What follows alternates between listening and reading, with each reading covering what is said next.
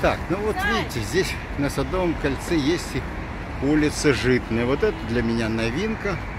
Я, честно говоря, думал, что здесь одни воловые улицы.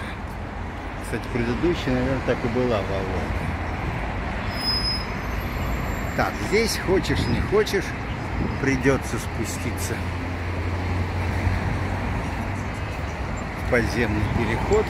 Ну, один подземный переход мы можем, конечно, и преодолеть.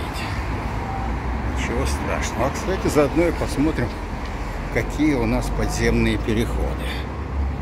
Должен сказать, что у нас на Ярославке изумительный переход.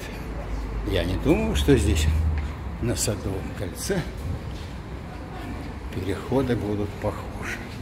Ну, вполне прилично. С кондиционерами. И можно при желании даже чего-нибудь такое и купить. Особенно и даже выпить кофе. Так, хочу ли я выпить кофе? А время 13 часов. А почему бы мне не зайти и не выпить чашечку кофе? Потом я вам расскажу, почему я решил зайти.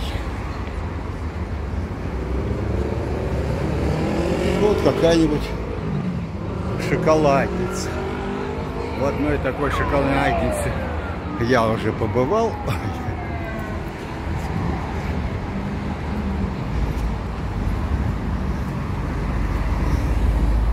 Отлично, на третью выпечку. Скидка тут. Ладно.